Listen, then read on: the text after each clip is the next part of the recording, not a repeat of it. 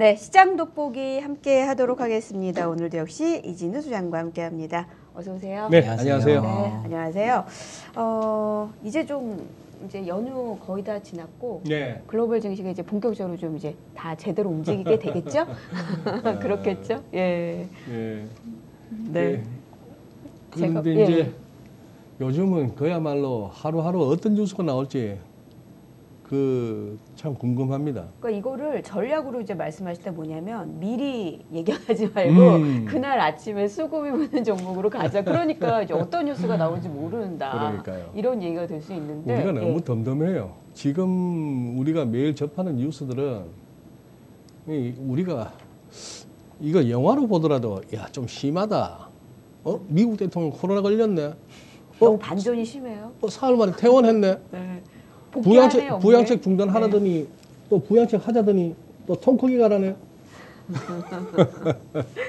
그런데 말입니다. 저는 네. 그거보다 더 흥미로운 게 시장이 거기에 대해서 이제 예전처럼 반응하지 않아요. 반응하지 않죠. 네네. 그러니까 음. 계속 우, 계속 올라가는 흐름, 그러니까 매수세가 계속 집중되고 연말이라면 좀 쉰다고도 하는데 그런 것도 눈에 띄지 않고 음. 우리 증시뿐만 아니라 제가 나스닥, S&P 이런 쪽을 보면요 오히려 좋은 소식에 더 반응하는 게 선택적으로 그런 음. 느낌이 좀 많이 들고 있거든요. 그러니까 뭐 일단은 지금 말씀하셨으니까 미 대선 얘기하니까 미국이잖아요. 미국 쪽에 그럼 잠깐 그 흐름 좀 좀 일단 점검을 네. 해주세요. 일단은 그런데 뭐 이따 차트 상으로 한번 보시겠습니다만 네.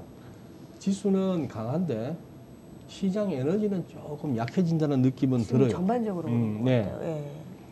이 기사가 재밌죠. USA 투데이 기사인데 지금 다음번 stimulus package, 다음번 부양 패키지에서 미국인들이 원하는 두 가지, 가장 원하는 두 가지. 첫째는 왼쪽 거. 이렇게 화면에 슬라이드 한번 띄워주시면 좋겠는데, 위 어, 예, 미국인들이 지금 가장 네. 당장 원하는 두 가지. 어, 슬라이드가 안 나오니까 말씀을 못 드리겠네. 그러니까 1,200 하면 알까요? 1,200불? 그냥 네. 순서대로 탁탁 넘기만 네. 주시면 되는데 네, 네, 1200불 지난번에 받아봤던 음. 음. 이게 USA 투데이 조사에 따르면은 3분의 2 정도가 이게 제일 필요하다 그랬다는 겁니다. 음, 그다음 한 4분의 1 정도는 이 추가적인 실업 급여 수당 지원 지난번에 600불씩 더 주다가 음. 평균적으로 한 450불이었는데 600불을 더 주다가 이게 끊겼으니까 음. 자, 그런 얘기입니다. 다 이거는 좀 어, 경- 뭐다 원하는 재정 정책을 예, 원하는 예. 거네요. 예. 야, 이거 10월 2일 날 우리 시간이에요. 우리 날짜와 우리 시간으로 10월 2일 오후 2시 조금 못 됐어. 나 확진 걸렸어. 영부인과 함께. 야, 여기서 놀라운 거는 보통 뭐 한 1, 20만 개거든요. 이 좋아요가 음. 100만 180만 개, 180만 개. 아니 근데 이게 왜 좋아? 그러니까 이게 무조건 누르는 그 좋아요인지 이게 무조건 좋아요인지 아니면 트럼프 코로나 걸려서 나 너무 좋다는지. 그러니 저 이거 음. 이, 이게 어느 쪽인지 애매하네요. 그리고 시장 예. 반응도 재밌었죠. 처음에는 지수 선물도 급락하고 빅스도 뭐 급등을 하고 했는데 막상 장이 열렸더니만 하락 출발은 했습니다만 낙폭을 다 많이 줄이고 다우 이 정도에 그쳤어요. 마이너스 0.48. 그 이유는 여전히 추가 부양책에 대한 기대감이다. 이렇게 시황에서는 정리합니다. 음. 그랬다가 이번 해서 그때 나왔던 트윗이잖아요. 그래서 부양책 합의하라 이렇게 했고 이 해프닝이 있었고 말이죠. 차 타고 가면서 This is insanity. 이 미친 짓이다. 그렇게 했다가 또 이제 어, 이 또 올려왔 올렸잖아요. 또 본인 트위터에 네네. 헬기 타고 걸어서 내려오고 올라가서 마스크 바로 벗고 헬기에 거수격리하고 음. 트럼프 지지자는 어떨까요? 역시 우리 대통령 엄지척 할 것 같고 트럼프 하면은 아주 뭐 백태가 낀다 하는 사람들은 뭐라 할까요? 아, 저 영감 안 돼. 이랬을 거고. 그렇죠. 지금 미국은 굉장히 갈려 있죠. 네. 갈려 있고 그러다가 갑자기 판을 깹니다. 이게 4일이에요. 10월 4일 날 그려놓고 갑자기 판 깹니다. 뭐 대충 민주당 2조 4천억 달러, 공화당 1조 6천억 달러인데 펠로시가 선의로 지금 협상에 임하지 않고 있어. 그래서 자기는 stop negotiating 하라고 어쨌거나 명령을 했다는 겁니다. 언제까지? 내가 대선에서 이겨가지고 그때 major stimulus bill 그때 제대로 된 부양책 한번 날릴게. 그리고 미치 매코널 공화당 원내대표한테 얘기합니다. 지금 이 에이미 코니 배럿 대법관 지명자 인준에 총 최선을 다하라. 그런데 하지 마라 해놓고 10시간 만에 네. 뭐라 그랬죠? 하원, 상원 할 것 없이 즉각 250, 250, 250억 달러는 항공사들 지금 굉장히 힘들어하는 항공사들 네. 지원하고 1,350억 달러는 요 PPP, Paycheck Protection Program, 그죠? 네. small business, 소기업들의 급여 지원하는 거 해라. I'm ready to sign right now. 지금 당장 나는 사인할 준비되어 있다. Are you listening, Nancy? 듣고 있니, Nancy? 요거는 아마 직접 올리신 것 같아요. 요런 표현이 이제 트럼프 대통령이 직접 올리는 거죠. 네. 그 가다가 이제 갑자기 1조 6천억에 1조 8천억 뭐 이런 소리가 나오고 big, 통 크게 가라 이럽니다. 통 크게 가라 했지만 댓글이 많이 달렸는데 재밌는 게 하나 있어요. 어떤 분이 댓글 달기를 나 말이지 내가 당신 당신 이러지 않았어? No stimulus bill. 부양책 없어. 언제까지? 선거 이후까지는. 선거 이전- 예, 나. 나 그렇게 네. 말한 걸로 알고 있는데. 그러면 이건 뭐요? 이게 지금 시장, 증시, crash 하기 전입니까? 오르기, 오, 전에 한 말이에요. 그러게 당신 주식시장 보고 왔다 갔다 하는 거 아니냐 이런 어떤 의심이죠. 음, 참 그런 상황인데 지금 이제 제가 말씀드리는 에너지가 좀 떨어진다는 얘기는 나스닥이 이제 어쨌거나 9월 고점은 아직 못 넘었었죠. 네. 일목으로 기준선 전환선 저항은 올랐었고 구름대도 벗어나서 추가 상승이 예상은 됩니다만 자 이제 이 월간 차트에서 지난달 이 월봉에서 음봉이 좀 부담스러운데 이달이 이제 궁금한 거죠. 거래량에 주목하십시오. 월간 차트 보면 여기서 들어가고 싶은 생각은 사실 안 듭니다. 조금 더 올라갈 수는 있어도 언제든지 또 꺾여도 할 말 없는 차트이기 때문에 얘는 지금 나스닥은 금년 들어서 29% 올랐어요. 다우는 1회 1회 하고 있습니다. 1회 1회 하는데 거래량 보세요. 거래량. 거래량이 확 줄고 있습니다. 그 다음에 다우는 금년 들어서 겨우겨우 플러스 돌렸어요. 겨우겨우. 나스닥하고는 조금 그림이 다르죠. 그런 상황에 divergence는 계속 유효.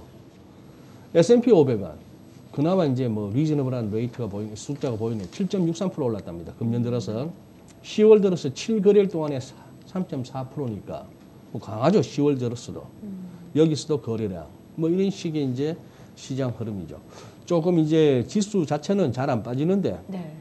바이든이 되든 누가 되든 뭐 부양책 결국 하지 않겠어 하는 기대감 같아요. 오히려 뭐 바이든이 되면 더 나오는 거 아니냐 민주당 금액 음. 보면 이런 얘기까지도 나올 정도라서 참 이게 시장이 제가 그런 생각이 들었거든요. 아, 예전까지는 이게 되면 또 이제 정권이 바뀌면은 또 이게 흔들리니까 주식시장 위험하다 얘기를 하다가 이제는 바이든도 나쁘진 않아. 민주당 됐을 때 더 많이 올라갔었어요. 주식시장 이렇게까지 얘기가 돼서 아 도대체 어떤 얘기를 믿어야 되는 거야? 이렇게 처음에는 바이든 되면. 예. 증시의 악재, 네네. 뭐 기업들 법인세 다시 또 그렇죠, 그렇죠. 예. 올리고 그리고 그거는 뭐 쥐약이다 뭐 이랬는데 음, 그래서 지금 이제 갑자기 월가에서 주류 언론들이 바이든 거의 승리할 것처럼 그리고 이제 요새는 blue wave라는 표현을 쓰더라고요. 다 장악하는 거죠. 예, 상하원 다. 민주당 민주당이 상징색이 파란색이잖아요. 네. 네. 그렇게 아예 다 장악하는 거. 오바마 때도 대통령은 오바마, 상원은 민주당인데 하원이 그때 공화당이었어요. 음, 음. 폴 라이언 그때 그 젊은 네. 하원 의장. 이런 사람이 미국 대통령 하겠다 나오면 비주얼이라도 좋을 텐데 그냥 애 보겠다고 집에 간 거 아니에요? 그리고 지금 뭐 75세, 77세 이런 분들이 지금 트럼프 대통령이 제일 젊다고 들었는데 맞나요? 지금 그렇게 제가 기억을 하고 있습니다. 뭐 예. 버니 샌더스 뭐 네. 이게 지금 이, 이 슬라이드 한번 보시죠. 자, 이걸 기본적으로 이걸 갖다가 한번 구도를 갖고 계시죠. 지금 월가에서 말하는 blue wave, 바이든이 대통령 되고 민주당 상하원도 다 장악하고 지금 하원 2년마다니까 이번에 하원 전체 투표하고 상원 100석 가운데 35석 갖다가 갈아치우는 선거를 같이 하는 거 아닙니까? 그 세 가지는 이거예요. 달러 약세일 것이야. 응? 이렇게 된다면 달러는 약세로 갈 것이야. 그 중에서도 이제 유로나 유로는 ECB가 일단 거부감을 보입니다. 그리고 유로 쪽에 코로나가 조금 지금 더 겨울을 맞아서 불안하죠.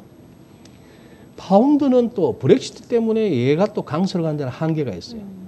그럼 N이 강세로 가려니까 N은 주로 어떻다?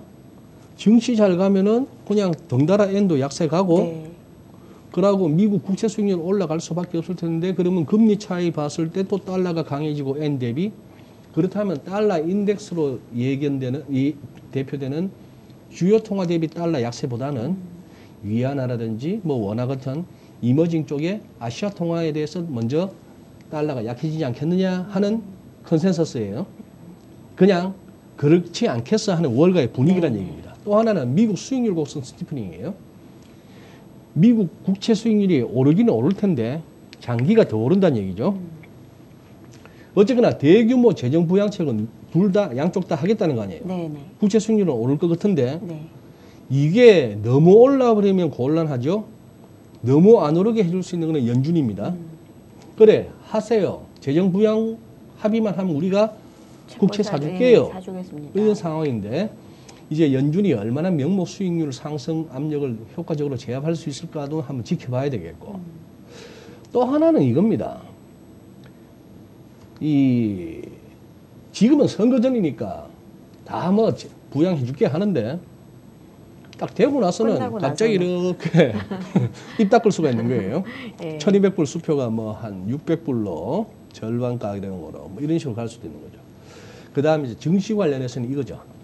증시가 다 빠지게 하겠나만서도 이런 식의 그겁니다. 그동안에 기술주, 뭐 언택트 이런 것들이 갔는데 이제 조금 소외되었던 가치주나 경기 민감주 쪽으로 매기가 쏠리지 않겠느냐 하는 그 얘기예요. 거기는 이제 미국의 실질금리 하락세가 멈추고 상승세로 가면은 이거는 그 은인을 갖다가 할인하는 분모 자체가 올라가니까 하는 차원이고. 그리고 이 IT 자이언스에 대한 규제 강화 조짐이 자꾸 민주당 쪽에서도 나오죠. 그렇죠. 예. 그리고 이 반독점 얘기가 많이 나오잖아요. 반독점 얘기가 예. 자꾸 나오고. 그러고 이제 백신하고 치료제가 결국은 개발 안 되겠느냐. 그렇다면 이제 그동안에 눌려 있었던 뭐 경기 이런 쪽. 민감주들. 여기 네. 이제 소위 말하는 블루웨이브의 시나리오예요. 네.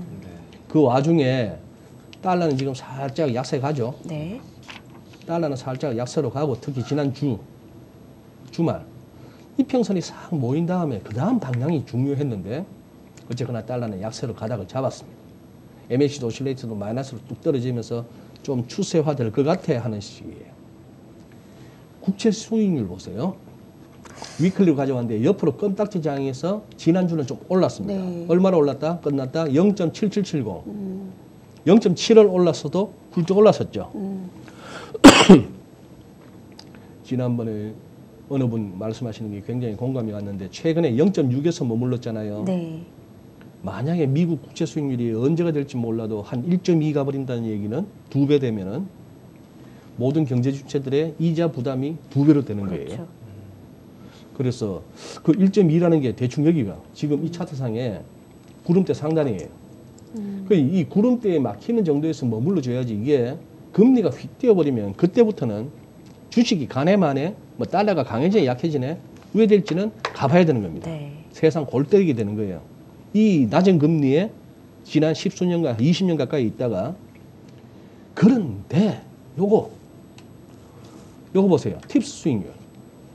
이 세인트루이스 연방은행 그거 들어가면 늘 찾을 수 있죠. 네네네. TIPS 수익률.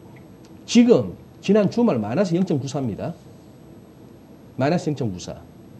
이 물가 연동채에 마이너스 0.94%의 수익률, 마이너스 수익률은 또 이걸 사는 이유는 나중에 실제 인플레이션만큼 보상해 준다고 했잖아요. 음. 그래서 이걸 산다고 했잖아요. 음, 그래서 지금 뭐다? 지난번에 한번 공부했던 거 복습입니다. 미국채 수익률 0.7770 이게 명목 수익률. 음. 명목 수익률에서 실질 수- 명목 금리에서 실질 금리 빼면 그게 인플레이션율 아니에요. 네, 네. 지금 마이너스 0.94를 뺐더니만 마이너스 마이너스니까 플러스해서 이게 1.717이 된단 말입니다. 음.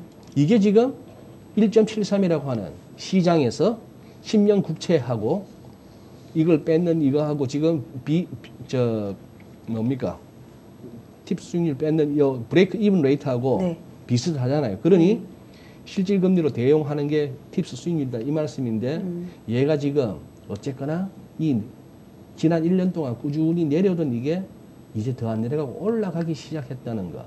여기에 지금 이제 시장이 조금 그거 하는 거죠. 그렇다면 이것이 과연 달러 약세 전망이 얼마까지 강, 길어질 수 있는가에 대해서도 사실 퀘스천 마크가 붙습니다. 제가 지금 횡설수설하는 것쯤입니다만 아, 요- 시장에서는 예. 지금 이렇게 지금 구도를 짜고 있는 거예요. 예, 그러니까 그동안 계속 꾸준하게 그 내려왔- 금리의 흐름이 음. 유지가 됐던 게 이제 음. 변화가 있다는 거잖아요. 변화가 있다는 예, 것이죠. 예. 그런 상황에서 이렇게 이런 시나리오는 갖고 지금 대응을 하고 있지만 실제 시장 흐름이 그렇게 될지는 이제 모르는 음. 그런 상황이죠. 시장에서는 그걸 보고 있는데 예. 시장에서는 그렇게 보고 있는 네. 제가 그러니까 이런 얘기들이 사실 바이든이 대통령이 된다는 걸 거의 뭐 기정사실화하듯이 그러니까. 지금 그러면서 분위기가 지금 이 그렇게 흐름이 되고 나오는 있는데 거죠. 네. 예. 사실 뭐 미국 대선에서 이랬던 분위기가 굉장히 자주 있었잖아요. 예. 그래서 이번에도 과연 진짜 진짜 바이든이 되는 건 맞는지 이거에 대해서 헷갈려 하시는 분들이 많은데 미국 언론에서는 좀 어떻게 보고? 예전에는 그 주류 언론들이 얘기했 그 바로 직전에 있었잖아요. 음, 그러다 네. 이게 확 뒤집어지는 걸 그러니까요. 봤는데 이게 네. 진짠가 이거 이거 믿어도 되나 그런 얘기들 하면서 다른 지표들도 자꾸 찾아보게 되거든요. 맞아요. 예. 그래서 저도 사실 이번에 귀추가 주목되는 것은 우리 언론이 미국 상황을 갖다 전달하는 건 주로 뭐죠? CNN, 뭐 뉴욕 타임스, 예. 워싱턴 포스트, 네네. 월스트리트저널 음. 이런 것들이죠. BBC까지도 보고. 주류 언론. 네, 그렇죠. 지난주였는가요? 제가 2016년에 왜 온갖 언론들하고 그 기관들한테 총, 총 이렇게 하던 그 트럼프 대통령 이미지 소개해 드렸는데 네. 그 얘기 하자면은 뭐 이거는 뭐 밤을 새야 되고 자 명석 앵커도 기억하시고 순영 앵커도 기억하시고 우리 시청자분들 기억하시다시피 2016년 선거 당일날도 트럼프 힐러리가 이길 확률 90% 넘는다 그랬어요. 당연히 그때 그렇게 생각을 하고 있었죠. 예. 그 브렉시트 되겠어 했다가 됐어요. 네. 자 그때 이후로 이놈의 주류 언론의 여론조사라는 것이 의심받기 시작했습니다. 믿어도 돼? 네. 그래서 이번에 바이든이 거의 이긴다고 하는데 트럼프 대통령이 재선에 성공한다면은 우리 국내 언론도 미국 주류 언론 뺏겨 쓰는 거 이제 좀 생각해 봐야 됩니다. 이거 보세요. 지금 1차 토론 끝나고 나서 CNN이 이렇게 보도하잖아요. 맞습니다. 57대 41. 그랬더니 우리 국내 이제 종편에서도 8월 28일, 9월 1일 그 사이에만 하더라도 51대 43이었다가 이번에 1차 토론 끝나고 나니까 57대 41로 더 벌어졌다. 두 배예요. 두 예, 그대로 이제, 이제 CNN을 갖다가 보- 인용 보도하는 거죠. 이 그래프, 이 파란색, 민주당이 상원과 하원을 모두 장악할, 수입하는 거. 야구에서 왜 3, 삼년전 그냥 수입한다 이러더니 예. 싹쓸이 하는 그 가능성이 이제 70%까지 간대요. 뭐 이런 식이 주류 언론들의 여론조사입니다. 근데 트럼프 대통령은 계속 뭘 올린지 아세요? 트윗에다가. 끝나고 나자마자, TV 토론 끝나자마자 이렇게 한 거예요. 누가 1차 토론 이긴 거겠니? 하는 C-SPAN. 네네. 거의 아. 우리나라의 그거 같아요. 이제 국회 방송 비슷한 성격입니다. 네네. 트럼프 69%, 바이든 19%예요. 그리고 여기도 익스프레스 같은 비주류 언론에도 가보면은 이런 식으로 조사를 해보면 여기서는 박빙으로 트럼프가 우세하던데 저는 여기 보니까 깜짝 놀랐습니다. 32만 5,530명이 투표한 결과예요. 생각보다 모집단이 많네요. 명석이 딱 보고 계시네. 우리가 지금 이런 것만 보는데 예. 이 보도들에서 보면은 몇 명 대상인지 보면 주로 1000명 안팎이고 어. 최근 들어서는 650명을 상대로 조사를 했더니만 이렇더랍니다. 한 1000명이 안 되는 몇백 명을 상대로 했던 거하고 여기는 35만 명, 몇십만 32만 명이지. 명을 예. 해서 대상으로 한 거하고 넓고 큰 나라 여론조사도 하기 나름이에요. 네. 그 러니까 저도 보고- 저도 한 두 번 이렇게 네네. 여론조사에 열심히 응답하다가 음. 귀하는 대상이 아니라고 끊긴 적이 두 번 있는데 아, 그러, 그러게 말입니다. 거기다가. 이게 왜 우리 국내 포털에는 검색하면 왜 이 기사가 안 나오죠? 음, 그러니 본인이 트윗을 갖다가 하루에 40개, 50개씩 하는 폭풍 트윗을 하면서 욕을 먹으면서도 본인이 이렇게 언론 역할도 해야 되는 거예요. 왜? 보도를 안 해주니까. 음. 이거는 역사적으로 처음 있는 일입니다. 플로리다 경찰서장 협회. 여기서 공식적으로 트럼프를 지지하는 그거예요. 이게 무슨 처음 있는 의미인가요? 이게 이게 어떤 의미일까요? 이게 응? 이게 플로리다 경- 경찰 예. 플로리다 경찰이 지지했다는 게 어떤 의미일까요? 지지할 수는 있지 않나요? 지지할 수 있는데 네. 이 협회에서 이렇게 한 건 또 처음이에요. 처음인데다가 지금 이제 뭐 플로이드 사망 이후로 아. 뭐 네, 경찰 네. 예산도 네, 깎고 네. 네.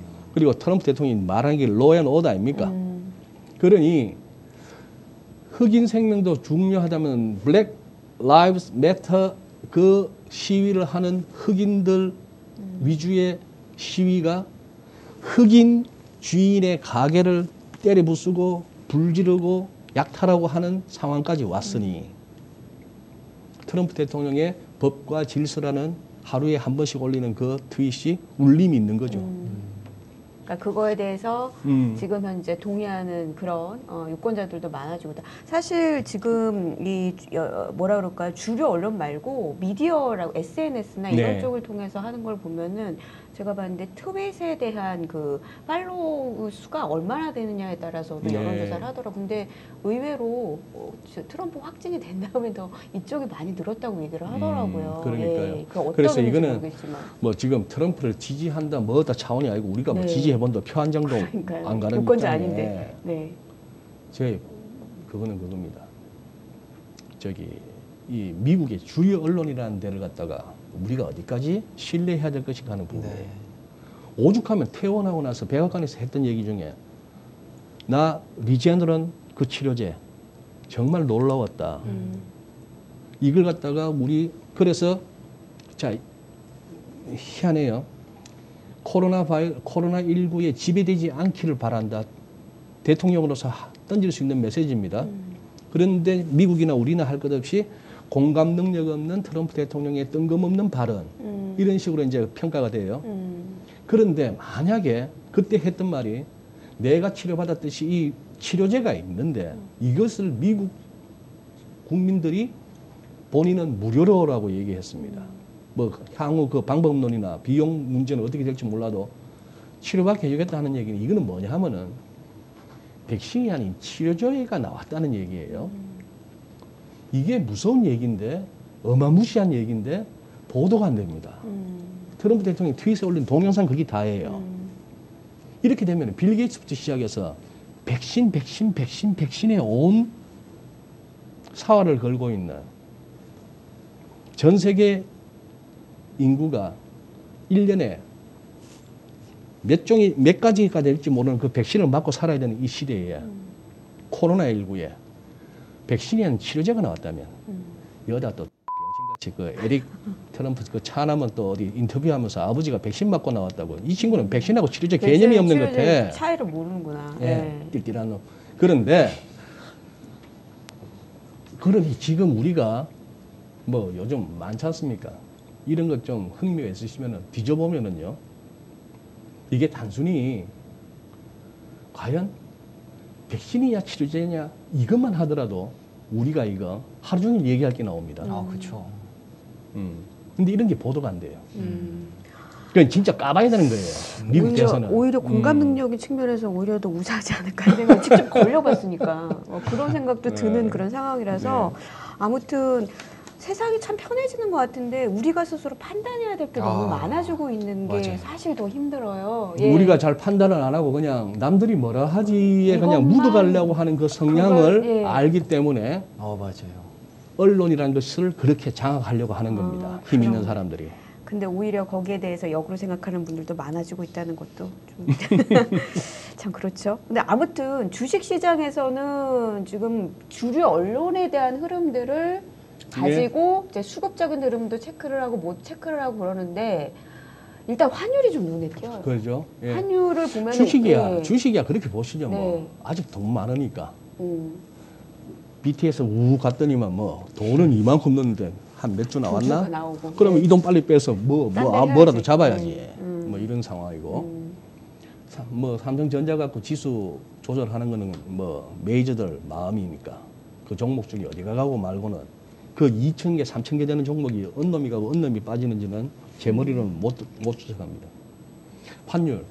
재밌는 거는 이거 보세요. 위안이 아까 달러 인덱스가 지난 주말에 결정적으로 하락으로 가닥 잡은 거는 보셨고 네. 금요일 날 국경절 연휴 끝에 지난주 금요일 날 딱 장이 열리자마자 그동안의 달러 약세를 한꺼번에 반영하면서 이 영내 위안화 환율이 뚝 떨어졌는데 이게 6.7 아래로까지 간 거예요. 이거는 조금 쇼킹합니다. 음. 그 6.79에서 6.69까지 왔으면 이거는 얼마입니까 이게? 딜러들 얘기로는 6.6 6.70에서 6.69 오면은 그게 원빅인데 6.79에서 6.69 왔으면 이거는 원빅이 아니고 텐빅이에요, 텐빅. 어마무시한 거예요. 네, 네. 근데 지금 이게 오늘 오늘이 아니고 주말 사이에 이 민은행에서 위안화 요거 보세요. 네. 2018년 8월의 기사입니다. 2018년 그때 포치 포칙하면서 막 위안화 약세 약세가 어디까지 갈까봐 걱정할 때. 예. 그래서 중국에서 위안화 가치를 갖다가 좀 안정시키려고 선물한 거래에 20% 증거금 부과. 예. 달러 사고 위안 팔고 하는 그런 선물한 거래하는 세력들한테 그 중에 20%는 묻어놔. 비용이 드니까. 그래서 그만큼 좀 위안화 약세 배팅을 갖다가 좀 주저앉히는 조치였다면은 이번엔 이 조치를 다시 되돌린 거예요. 20% 증거금 부과했던 거 다시 없던 일로. 그 얘기는 뭐죠? 시장에서 이해하기로는 아하 너무 급하다고 보는구나 중국도 음, 그런 차원이다 보니까 NDF 시세가 43원 60전이었어요. 그거보다 높아요 지금. 43원 60전이었는데 오늘 개장이 50원에 개장했어요. 네, 네. 그 중국 인민은행의 조치가 반영된 거예요. 음.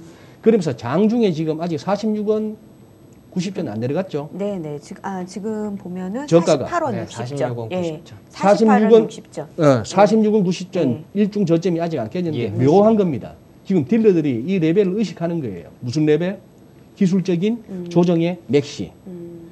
지난번 1054원, 2018년 4월에 1054원 저점에 3월 달에 그때 1296원 고점에 피보나치를 그어봤더니만 61.8% 여기까지는 조정. 그게 지금 roughly 46원 70전, 46원 80전 around예요. 오늘 46원 90전이 저점이잖아요. 내일도 깨진다? 오늘 중에 오늘 내일 중에 깨진다? 며칠 내로 깨진다? 그러면 이거 피보나치 끌 게 아니고 다시 내린다. 음, 한 1, 20원, 들어간다. 2, 30원 더 내릴 가능성도 염두에 둬야 되지만 일단 중국에서 약간 제동을 걸었고 그런 상황이고 어, 미국 주식도 한번 보시죠 뭐 음. 조금 에너지가 떨어지고 있다는 게 느껴집니다. 음.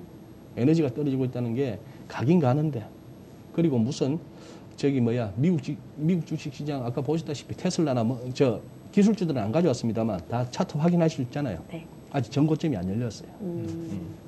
알겠습니다. 시장은 천천히 가고 싶어 한다. 여기서 한번 천천히 길게. 음. 예, 천천히 길게. 어이구 괜찮은데. 예. 여기서 정리하도록 하겠습니다. 잘 들었습니다, 소장님. 예, 예, 고맙습니다. 고맙습니다.